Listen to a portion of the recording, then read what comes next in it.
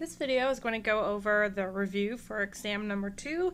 This is for uh, the Nolan and Heinzen book for Dr. Buchanan's Psych 200 class. Um, so what we're going to do is talk about the answers to this and I'm going to work them out for you. So the first example uh, gives you the basic overview of what's going on. So a researcher wants to know if their flashcard program is working and getting uh, the number of cards increased so that students can do better on tests. In general, people can memorize about 50 items with a standard deviation of 10. So anytime it says in general, that's going to be mu. And standard deviation is going to be sigma. Um, our researchers tested 25 people, so that's n. And their average score here, that's the sample mean, 54.05 or 54.5. And we're going to use 0.05 for all these different um, pieces of this review. So the first question is really from chapter 5, and it asks, what's the population of interest? If I back up and look at this slide, essentially I know that we're interested in students in general, or people in general really, because I want to know if I can help individuals learn better. So the answer to this one's pretty easy. It's all people because we're trying to make people um, memorize information easier. So second question, still from chapter 5. Why would I choose to assess a sample rather than a population? Well, often it's because we don't have access to the entire population. So I don't have access to everybody, um, obviously. Uh, ethical reasons might be another one. Uh, not really in this study, but I can't force people to be in my study, nor can I give them cancer from doing that sort of research. Uh, it is faster and easier to sample than to collect everybody, and it's definitely cheaper, especially if you're having to pay subjects to sample. And then, uh, last but not least, is kind of the overall reason why you sample, is because we're just going to estimate the population with that sample. So these are all a bunch of different reasons why might I sample rather than try and collect everybody. Uh, and this one is the big one, that I don't have access to everyone in the population. Is random selection possible? Right, this is still chapter 5. Um, and so that's a big no. I am sampling everyone, so I don't have access to them all. I have access to the entire population. And so random selection would not be possible in, in this particular example, and I probably couldn't randomly assign them either. All right, now we're going to get into the information from chapter 6. So in chapter 6, we're really talking about uh, z-scores, where we're talking about one person at a time. Which means that I don't want to do this as a z-test where we're doing multiple people at a time. Okay, so we're going to list percentages. So what percentage of students um, would score between a raw score of 50 and a raw score of 53? So I'm going to write down the numbers I have. So mu is 50 and sigma is 10. And those are the numbers I need for this particular example because I'm only talking about um, scores and not just um, and not a z-test where I'm using samples of people. So the first thing you would do is calculate z. So z would be 50 minus 50, because remember the formula here is mean minus mu divided by sigma. Um, and so I want to use the, um, I'm sorry, it's not mean. I just said this was the z-score Right? It's person score minus mu divided by sigma, and each one of these is an x. Um, I don't want to use the sample mean information because um, I'm working with one set of scores. And so divide by 10. So the first person's score is a 0. Now the second score is 53 minus 10. Oops, not 10. We want to use the population mean, so 50 divided by 10. Okay. And that is a 0.3. Okay. So we're looking for the percent of people who are between 0 and 0.3. Um, so I'm going to draw that over here. Okay, so 0 here, and then 0.3. So you'd want to go to a z table or z distribution table and look up the percent between 0 and 0.3. And I've already done that, so I'm going to go 50. And then the scores between 0 and 0.3 are 11.79, so that's here, and 38.21. So you're going to want to use a z-score table for that, and this is going to be the one that's the mean to z, and so I want to use the middle piece here, 11.79. And so the question is what percentage of students have scores between? So that means we want to get this area here. And so I have, the answer is going to be 11.79 to this particular problem because I want to know the scores between.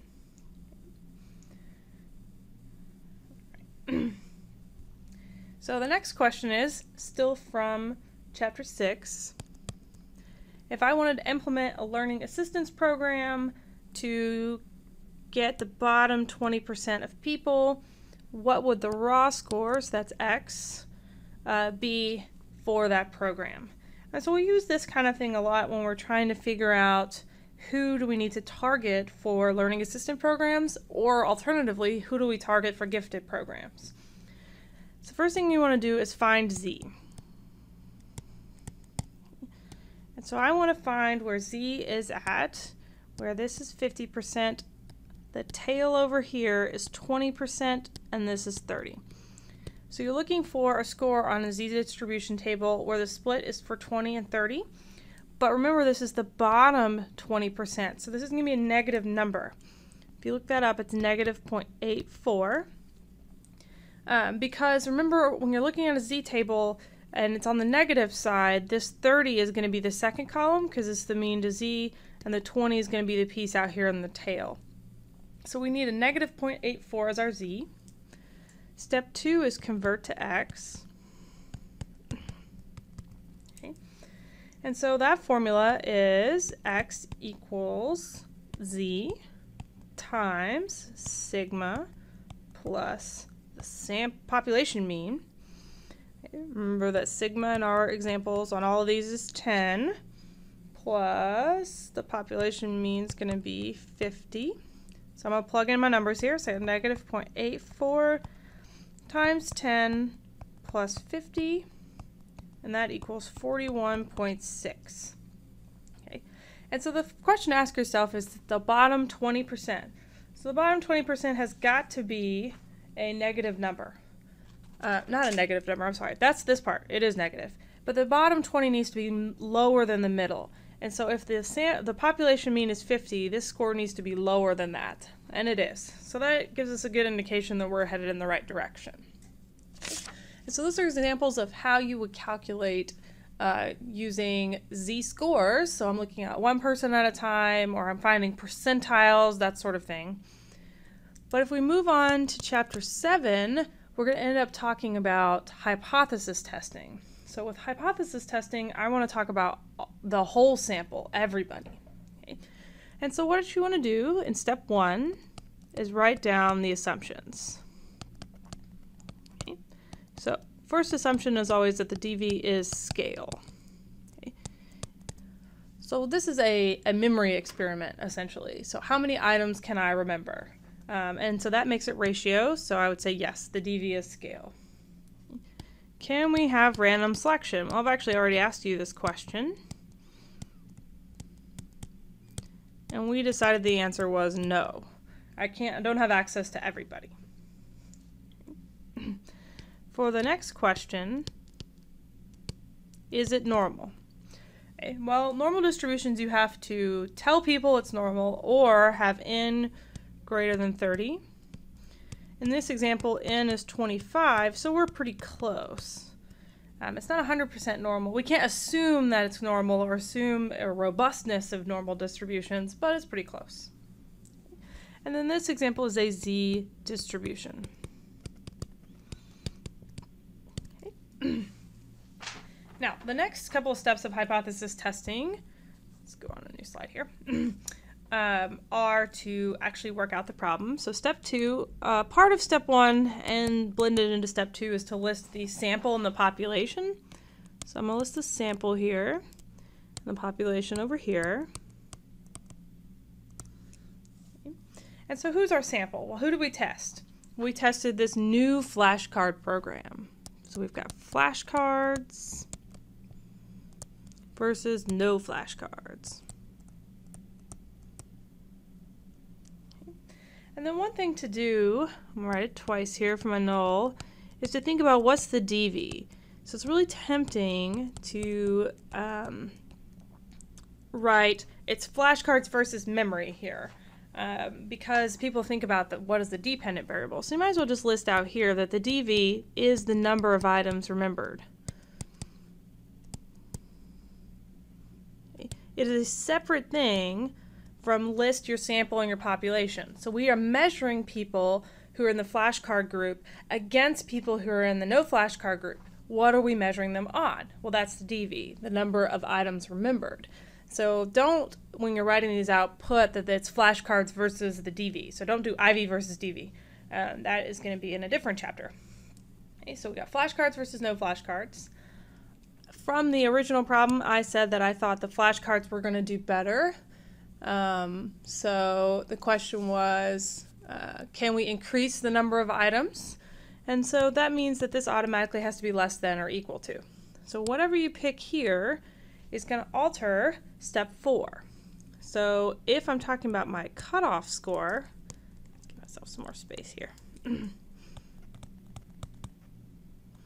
what we're doing is essentially setting up for a positive one-tailed test out here. Um, because I have said I only am caring if it's greater than. If it's less than, I don't care because that's bad, and uh, I would reject. I would fail to reject anyway. Step three is to list all the numbers you have. So I have a mean of 54.5. I have a sample of 25 students.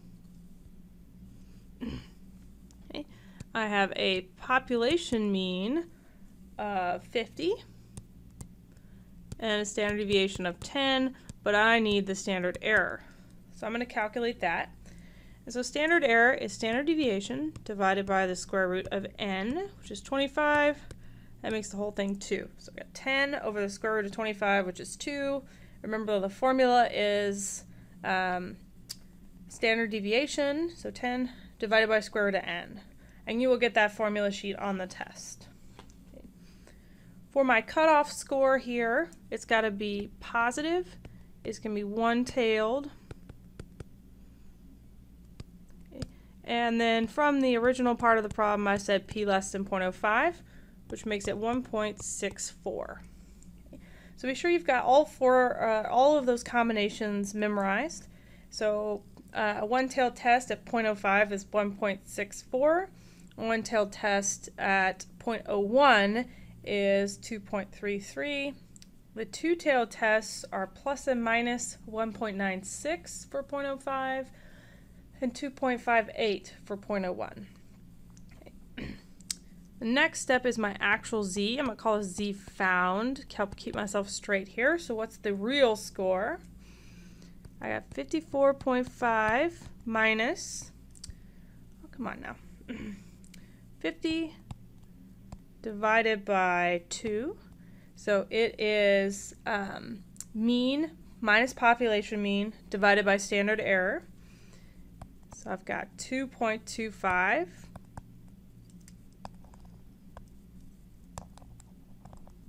we go. So 2.25. And what would I do? It's really excited about confidence intervals. so I would reject the null. Because 2.25 is further out than 1.64 and so I would reject the null and say that these are different things. The flashcard program increases the number of items remembered over the no flashcard program. So flashcards better than no flashcards. And we're rejecting the null because it is in the critical region out here in the scribbles, uh, which means that our little car is trying to cross the finish line of 1.64, and it did because it got all the way to 2.25. Okay. So that would be the six steps of hypothesis testing. The next question um, is really where chapter 8 comes in, and we're trying to find the uh, confidence interval for the mean. So often this is listed as uh, the point estimate. So what's the confidence interval around the point estimate? Well, um, when you say point estimate, we're always talking about the sample mean. So just a reminder, you create confidence intervals around samples. So the sample mean is going to be 54.5. I have to come up with z critical. Remember, this is not z found. So when we're looking at this problem, we found a z of 2.25, but we don't want to use that in confidence intervals. What we want to do is use a z cutoff score, z critical. And z critical always needs to be two-tailed. Um, so we want to come up with a two-tailed z critical score for a 95% confidence interval. Why is it 95%? Well, we're using p less than 0.05, which automatically makes it a 95% CI. So it's plus m minus 1.96. The other thing we need to calculate these is standard error, which we got as 2 in the last example. So the lower side is negative 1.96 times 2 plus 54.5. And then the upper side is positive 1.96 times 2 plus 54.5. And that formula is z critical times standard error plus sample mean. and so what numbers I get when I do the math on this is 50, 58, and then 58, 42. And the question to ask yourself when you get to this confidence interval question is um, Is the lower limit actually lower than the sample mean? And yes, 50 is less than 54. Is the upper limit greater than the sample mean? Yes, 54 is greater than 58. And then do they make sense? are they approximately the same around each side? So it's about four points up and four points down. So confidence intervals are equal on each side, and the lower one does need to be lower, and the upper one needs to be upper. Okay. Now, if you remember, the population mean was 50. And so our population mean is not in that interval. It is outside the interval, which means we're likely to reject the null. So what's the effect size? So effect size is mean minus mu divided by standard deviation. Because remember, z is mean minus mu divided by standard error. So they have different denominators. So they are not equal to each other. If you get that d and z are the same, you've done one of them wrong. So that would be 54.5 minus 50 divided by 10. So it's 0.45 that is close to a medium effect size. So 0.2 is small, 0.5 is medium, 0.8 is large, so I would probably say it's a small medium effect size. And then the dreaded question from chapter 8, what is the power of this experiment? And so with power, the first step is to always write down what are all the numbers I have. So I have a mean, a population mean of 50, a standard deviation of 10, which means we need standard error. Sample size is 25. Uh, sample mean is 54.5. And standard error, remember we talked about, is 10 over the square root of 25, which is 2. And so what do we want to do? The next step is to decide which way you're going. So I want to use a greater than test because that was the thing we did. Oops, too far. Chill out. There we go. So we want we did a greater than test here. So I want to do that again. So I'm going to say greater than test.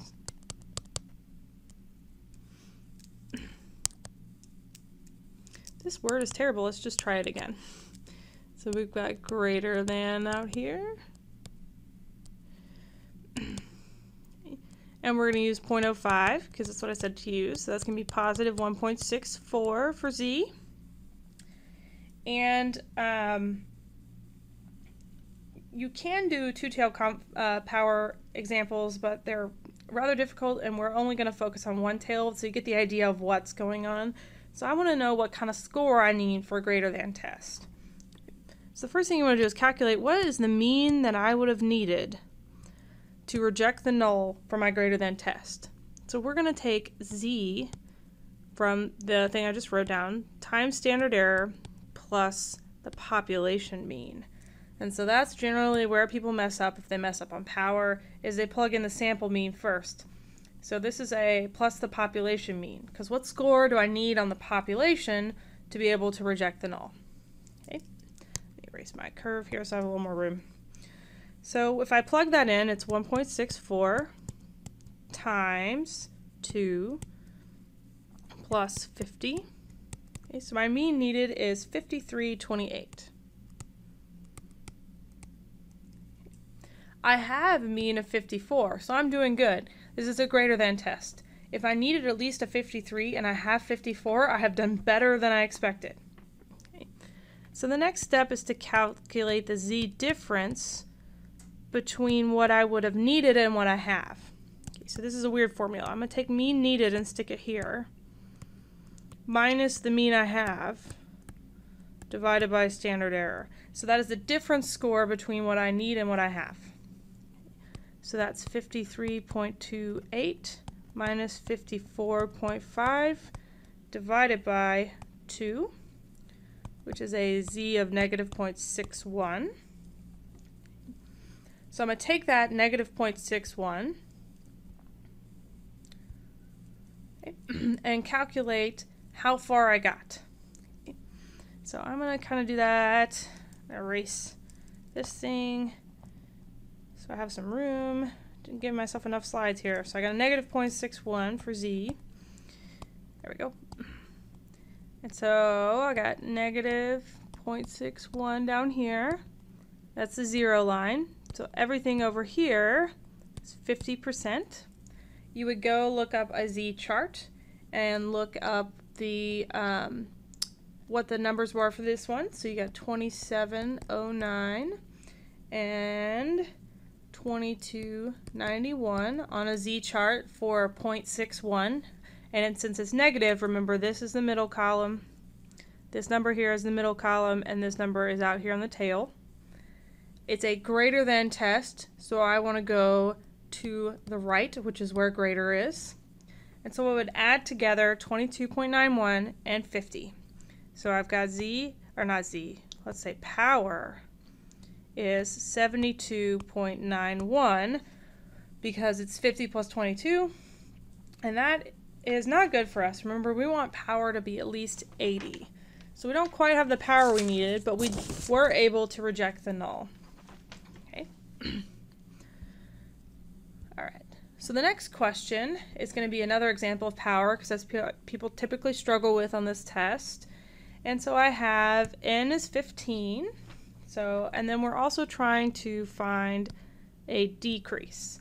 So we're treating depression and we want depression scores to go down because that just makes sense. We want people to be healthier. And so they give the drug to 15 people they have them take the BDI and they give you the general scores for the BDI. So this is mu with standard deviation of 5. Schwink.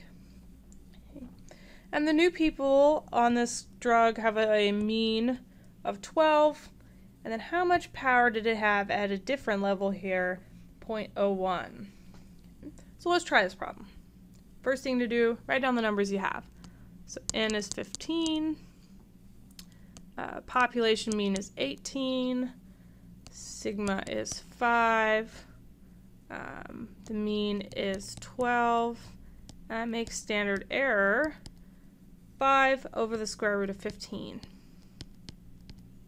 which is 1.29. Then you want to calculate mean needed.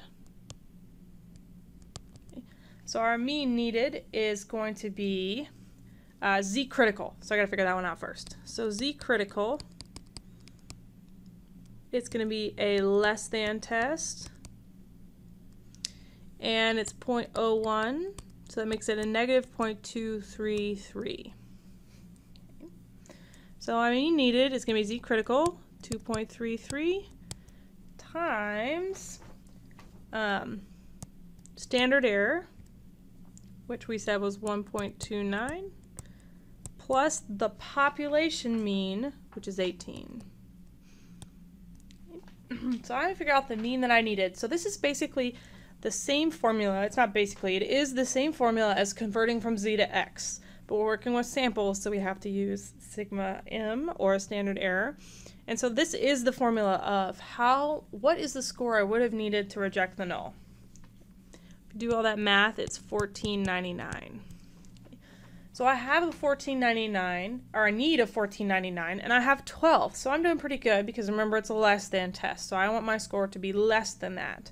Um, and so I would have needed 15 points and I have 12. So the next thing you want to do is calculate the z difference. So that score goes here, so 14.99 minus m, so the sample mean, what I actually have, divided by 1.29, standard error, and I get 2.32, which is kind of a big number to get on power. And then what I want to do is plot that. So I've got 50% of the data over here because this is 0. And then my score is 2.32. Oh, here, let me write this underneath so it stays clear what's going on. So 2.32. And if you look up 2.32 on a z table, you have 1.02 in the tail and 48, 98 here in the mean to z. Okay, so remember on the positive side, uh, this one is the one in the middle, this one is the one on the in the tail. Now, I want a less than test here. So I need to go this way because it's less than. Remember left than is to the left. So I would add together 50 plus 48, 98. So I get that power is 98, 98. And that's great for me. That means I have a almost 99% chance of rejecting the null when there's truly a difference between the means. So remember the definition for power is the probability of rejecting the null when there truly is a difference. And so that concludes the exam 2 review. If you're still struggling, you can go and watch the chapter 7 and 8 examples where I'll cover more of these uh, types of problems.